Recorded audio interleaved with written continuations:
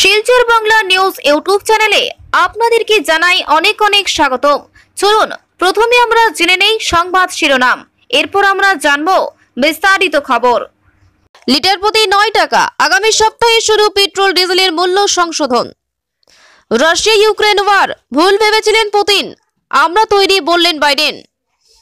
এখন মাত্র দুইজন এসেছেন বিজেপির আরও দশ থেকে বারো জন বিধায়ক এবং মন্ত্রী কংগ্রেস নেতৃত্বের সঙ্গে যোগাযোগ করছেন দলে যোগদান করার জন্য। কথা জানান সর্বভারতীয় কংগ্রেসের নেতা তথা ত্রিপুরা রাজ্যের অবজারভার ডক্টর অজয় কুমার। বুঝতেই পারছেন না, পরিণাম কি হবে? ফের বাইডেনের নিশানায় পুতিন। কৃষ্ণ সাগরে রুশ যুদ্ধ জাহাজ ঢুকতে দিল না তুরস্ক। অস্বস্তি বলল পুতিনের। রোমানিয়ার প্রধানমন্ত্রীর সঙ্গে দেখা করলেন জ্যোতিরাদিত্য সিন্ধিয়া। জানালেন ধন্যবাদ। দিল্লিতে প্লাস্টিকের সরঞ্জাম তৈরির ফ্যাক্টরিতে আগুন, প্রচুর ক্ষয়ক্ষতির শঙ্কা। ইউক্রেনে আটকে পড়া ভারতীয়দের সরিয়ে নেওয়ার কাজ দেরিতে হয়েছে, অভিযোগ অখিলেশ যাদবের। সরকার বলেছে যে ইউক্রেনের প্রতিবেশী দেশগুলো থেকে ভারতীয়দের ফিরিয়ে আনার জন্য পরবর্তী চব্বিশ ঘণ্টার মধ্যে পনেরোটি বিমান নির্ধারিত হয়েছে বলে জানালেন বিদেশ মন্ত্রকের মুখপাত্র অরিন্দম বাগচি। ইউক্রেনের দিকে সাহায্যের হাত বাড়িয়ে দিল ভারত, পাঠানো হলো ত্রাণ সামগ্রী।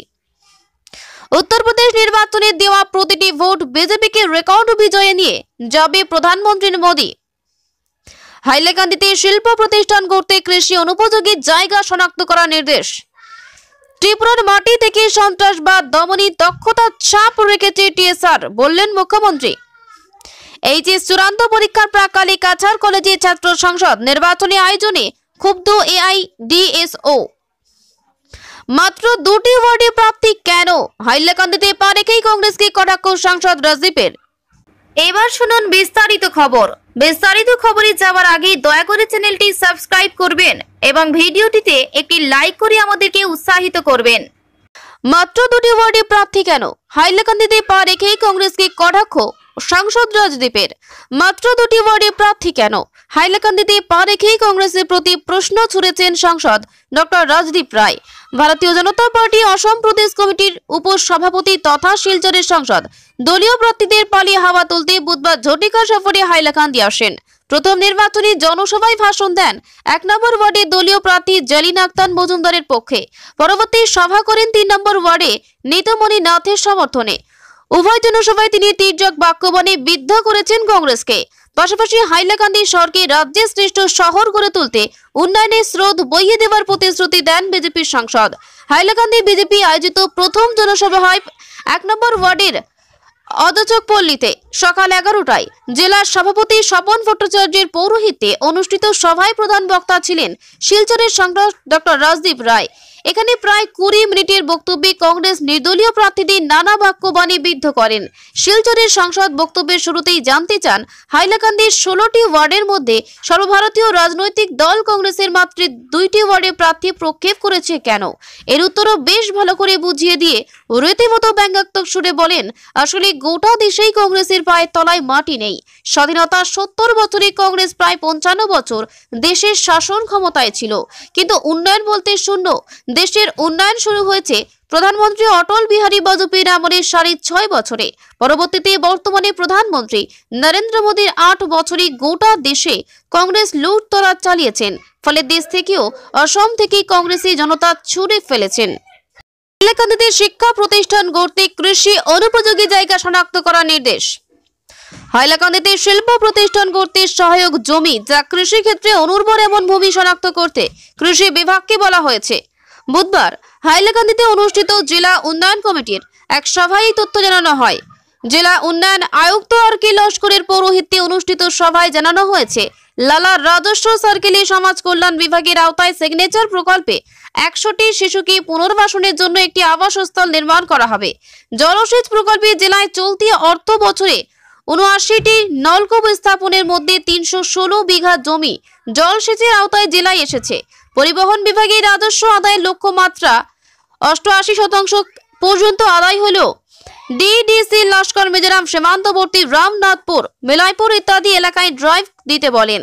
পিএইচি বিভাগ থেকে জানানো হয়, জেলার ছশো পঁয়তাল্লিশটি শিক্ষা প্রতিষ্ঠানে এবং চুয়াল্লিশটি অঙ্গনওয়াড়ি কেন্দ্রে পানীয় জল সরবরাহ করা সম্ভব হয়েছে। ডিডিসি লস্কর এই প্রতিষ্ঠানগুলির তালিকা প্রশাসনের হাতে তুলে দিতে বলেন, যাতে তারা পরিদর্শন করে খতিয়ে দেখতে পারেন। হাইলাকান্দি শহরের জেলা ক্রিয়া সংস্থার ময়দান ডিএসএ মাটি ফ্রটের কাজ পঁয়ষট্টি শতাংশ শেষ হয়েছে এবং বাকি কাজ একত্রিশে মার্চের আগে শেষ হবে বলেও সভায় জানানো হয়। নগর জীবিকা মিশনের অধীনে জেলার দুটি শহরে এই পর্যন্ত এক হাজার কুড়ি জনকে স্বাবলম্বী করা হয়েছে। জীবিকা মিশনের অধীন এই পর্যন্ত দুশো পঁয়তাল্লিশ স্কিল ট্রেনিং দেওয়া হয়েছে এবং আরও একশো এবং নব্বই জনের স্কিল ট্রেনিং চলছে। প্রধানমন্ত্রী জনধন যোজনায় ফেব্রুয়ারি মাসে সাতশো বত্রিশ জনের অ্যাকাউন্ট খোলা জেলায় এই পর্যন্ত তিন লক্ষ বাইশ হাজার চারশো তিরিশটি অ্যাকাউন্ট। জীবন জ্যোতি বীমা যোজনা গত মাসে এক হাজার আটশো সতেরোটি বীমা নথিভুক্ত হওয়ায় এই পর্যন্ত আটত্রিশ হাজার আটশো বারো জনের বিমা করা সম্ভব হয়েছে। এছাড়া প্রধানমন্ত্রী সুরক্ষা বীমা যোজনায় গত মাসে দু হাজার ছেচল্লিশ জনকে বিমার আওতায় আনায় এই পর্যন্ত জেলায় এই যোজনায় এক লক্ষ সাত হাজার তিনশো উনআশি জন এবং অটল পেনশন যোজনা গত মাসে বাষট্টি জনকে আনা সম্ভব হওয়ায় এই পর্যন্ত জেলায় এই যোজনায় চোদ্দ হাজার সাতশো ছাব্বিশ জন উপকৃত হয়েছেন। সভাপতির ভাষণে ডিডিসি লস্কর লিড ডিস্ট্রিক্ট ম্যানেজারকে ব্যাংকে পাঠানো সব কর্মসংস্থানমূলক ঋণগুলির দরখাস্ত পনেরো দিনের মধ্যে নিষ্পত্তি করতে বলেন। ভুল ভেবেছিলেন পুতিন, আমরা তৈরি। বললেন বাইডেন। তার প্রথম স্টেট অব দ্য ইউনিয়নের বক্তৃতার বেশিরভাগ অংশ জুড়েই থাকল রাশিয়া ইউক্রেন যুদ্ধ পরিস্থিতি। আর সেই বক্তৃতায় নিজের দেশের আইনসভার সদস্যদের সামনে রুশ প্রেসিডেন্ট ভ্লাদিমির পুতিনকে আরও একবার চাঁটাছোলা ভাষায় আক্রমণ করলেন আমেরিকান প্রেসিডেন্ট জো বাইডেন। আরও একবার জানালেন, গোটা বিশ্ব থেকে অর্থনৈতিকভাবে রাশিয়াকে বিচ্ছিন্ন করার ব্যবস্থা তারা ইতিমধ্যেই করে ফেলেছেন। হাউস অফ রিপ্রেজেন্টেটিভসে গতকাল বাইডেন যখন বক্তৃতা দিচ্ছিলেন, তখন সেখানে উপস্থিত অনেকেরই পরনে ইউক্রেনের জাতীয় পতাকা দুই রং, হলুদ আর নীল।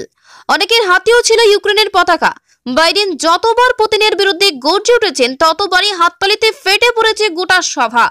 আমেরিকান প্রেসিডেন্ট জানিয়েছেন, ইউক্রেনের বিরুদ্ধে যুদ্ধ ঘোষণার কি কি মূল্য পুতিনকে চোকাতে হবে তা রুশ প্রেসিডেন্ট এখনও কল্পনা করতে পারছেন না, তবে নিজেরই বক্তব্যের বিশদ ব্যাখ্যায় যাননি বাইডেন। শুধু জানিয়েছেন, ব্রিটেন ইউরোপীয় ইউনিয়নের সঙ্গে হাত মিলিয়ে অর্থনৈতিকভাবে রাশিয়াকে পঙ্গু করার পথে এগোচ্ছেন তারা।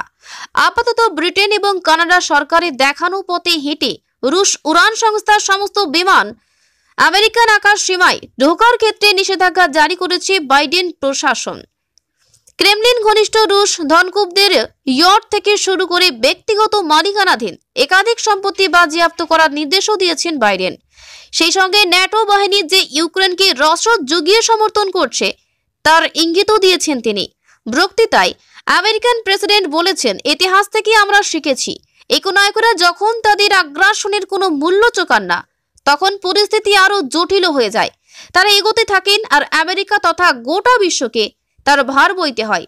সেই জন্যই দ্বিতীয় বিশ্বযুদ্ধের শেষে ইউরোপের শান্তি ও স্থিতিশীলতা বজায় রাখতে ন্যাটো সৃষ্টি হয়েছিল। আমেরিকাও তার সদস্য। এর একটা গুরুত্ব আছে। আমেরিকান কূটনীতিরও একটা গুরুত্ব আছে। পুতিন যে কূটনীতি আর আলোচনার রাস্তায় না হেঁটে যুদ্ধ আর আগ্রাসনের পথে বেছে নিয়েছেন, তার করার সমালোচনা করেছেন বাইডেন। বলেছেন, পুতিন কূটনীতির প্রচেষ্টাকে অগ্রাহ্য করেছেন। ভেবেছিলেন ন্যাটো কোনো প্রত্যাঘাত করবে না। উনি ভেবেছিলেন, আমাদের দ্বিখণ্ডিত করবেন। কিন্তু উনি ভুল ছিলেন, আমরাও তৈরি। বাইডেনের আরও বক্তব্য, ইউক্রেন আক্রমণ করে দখল করা খুব সহজ হবে বলে ভেবেছিলেন পুতিন এবং তার সরকারের শীর্ষকর্তারা। কিন্তু ইউক্রেনীয় বাহিনীর প্রতিরোধ যে এতটা কঠিন হতে পারে, তার আন্দাজ রুশ প্রেসিডেন্ট করতে পারেননি। আমেরিকান প্রেসিডেন্টের কথায় পুতিন ভেবেছিলেন ইউক্রেন আক্রমণ করলে গোটা বিশ্ব তার পায়ের তলায় চলে আসবে। এত কঠিন একটা প্রতিরোধের দেওয়ালে যে তাকে ধাক্কা খেতে হবে, তা উনি ভাবতেও পারেননি। ওকে ইউক্রেনের মানুষের মুখোমুখি হতে হয়েছে। বাইডেন জানিয়েছেন মিত্র দেশগুলির সঙ্গে হাত মিলিয়ে রাশিয়ার বৃহত্তম ব্যাংককে বিশ্ব অর্থনীতি ব্যবস্থা থেকে বিচ্ছিন্ন করার পরিকল্পনা নিয়েছেন তারা। গতকাল বাইডেনের সঙ্গে তার ফোনে কথা হয়েছে বলে জানিয়েছেন ইউক্রেনের প্রেসিডেন্ট ভ্যালদেমির জিলেনস্কি। টুইট করে তিনি জানিয়ে লিখেছেন, আমেরিকার নেতৃত্বের সঙ্গে কথা হলো। রাশিয়ার বিরুদ্ধে নিষেধাজ্ঞা ও ইউক্রেনের প্রতিরক্ষার সহায়তা নিয়ে আলোচনা হয়েছে। আমাদের যত দ্রুত সম্ভব এই আগ্রাসনকে রুখতে হবে। এইচএস চূড়ান্ত পরীক্ষার প্রাককালে কাছাড় কলেজে ছাত্র সংসদ নির্বাচন আয়োজনে ক্ষুব্ধ এআইডিএসও। হায়ার সেকেন্ডারি দ্বিতীয় বর্ষের চূড়ান্ত পরীক্ষার প্রাককালে কাছাড় কলেজে ছাত্র সংসদ নির্বাচন আয়োজনের পরিপ্রেক্ষিতে ক্ষুব্ধ বামপন্থী ছাত্র সংগঠন এআইডিএসও। আগামী এগারোই মার্চ কাছাড় কলেজের ছাত্র সংসদ নির্বাচন অনুষ্ঠিত করার জন্য কলেজ কর্তৃপক্ষের সিদ্ধান্তে প্রতিক্রিয়া ব্যক্ত করেছে বামপন্থী ছাত্র সংগঠন এআইডিএসও কাছাড় জেলা কমিটি। কমিটির পক্ষ থেকে বলা হয়েছে হায়ার সেকেন্ডারি চূড়ান্ত বর্ষের পরীক্ষার মাত্র চার দিন আগে এই নির্বাচন অনুষ্ঠিত করানোর ফলে কলেজের বিশাল সংখ্যক ছাত্রছাত্রীকে সরাসরি অংশগ্রহণ করার ক্ষেত্রে বাধাগ্রস্ত হতে হবে। কৌশলে তাদেরকে নির্বাচনে আটকে দেওয়া হয়েছে বলে সংগঠনের অভিযোগ। সংগঠনের জেলা সম্পাদক গৌরচন্দ্র দাস বলেন, আগামী পনেরোই মার্চ থেকে শুরু হবে হায়ার সেকেন্ডারি দ্বিতীয় বর্ষের পরীক্ষা। ফলে ছাত্রছাত্রীদের পড়াশোনা নিয়ে ব্যস্ত থাকতে হচ্ছে। বিজ্ঞান শাখা সহ বহু বিষয়ে ছাত্রছাত্রীদের প্র্যাকটিক্যাল পরীক্ষাও চলছে। ছাত্রছাত্রীদের অত্যন্ত গুরুত্বপূর্ণ গণতান্ত্রিক অধিকার প্রয়োগের একমাত্র ব্যবস্থা হিসেবে ছাত্র সংসদ নির্বাচন অনুষ্ঠিত করানোর যে প্রচলিত ব্যবস্থা আন্দোলনের মাধ্যমে অর্জিত হয়েছে, তা সংকুচিত করার নানা ষড়যন্ত্র বিগত কয়েক বছর ধরে করে করা হচ্ছে। অভিযোগ গৌরচন্দ্রের। কাছাড় কলেজ কর্তৃপক্ষ যদিও দীর্ঘ পাঁচ বছর পর ছাত্র সংসদ নির্বাচনের দিন ধার্য করেছেন, কিন্তু সময় নির্ধারণের ক্ষেত্রে হায়ার সেকেন্ডারি পরীক্ষার্থীদের বিষয়ে কোনো চিন্তা ভাবনা করা হয়নি। এআইডিএসওর পক্ষ থেকে এ ও বলা হয়েছে, কাছাড় কলেজে কিছুদিন আগে সামাজিক সপ্তাহ পালিত হয়েছে।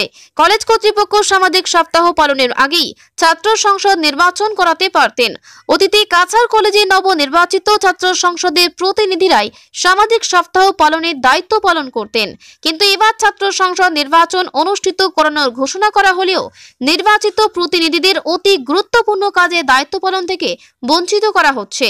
এআইডিএসও জেলা কমিটির পক্ষ থেকে কাছাড় কলেজ কর্তৃপক্ষকে উল্লেখিত বিষয়ে তাদের বক- বক্তব্য ছাত্র ছাত্রীদের সামনে তুলে ধরার দাবি জানানোর পাশাপাশি ভবিষ্যৎ ছাত্র সংসদ নির্বাচনের আগে প্রত্যেক ছাত্র ছাত্রীর অংশগ্রহণ সুনিশ্চিত করতে দাবি জানিয়েছেন পল্লব ভট্টাচার্য। হিল্লল ভট্টাচার্যরা।